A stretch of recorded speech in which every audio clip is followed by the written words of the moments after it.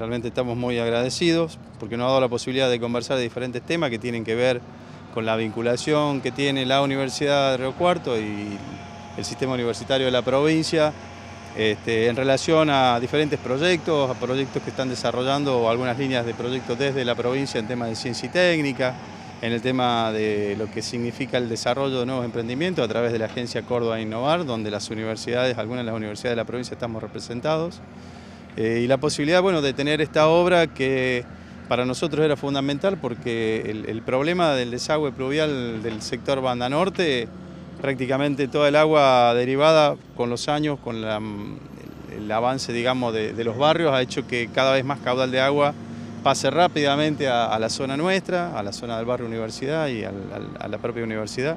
Y por supuesto a nosotros es una obra que, nos beneficia en ese sentido, nos da la posibilidad de tránsito y mayor seguridad fundamentalmente a los chicos que están en las residencias y el tránsito de una área a otra desde el sector del bajo a la parte del edificio, por supuesto, este, en, el ámbito de esta universidad. Así que eh, estamos muy, muy agradecidos por esta posibilidad que se nos ha dado y el hecho de poder estar directamente conversando, discutiendo algunas propuestas con, el gobernador y con algunos de los, de los funcionarios de la gobernación, así que la verdad que estamos muy conformes.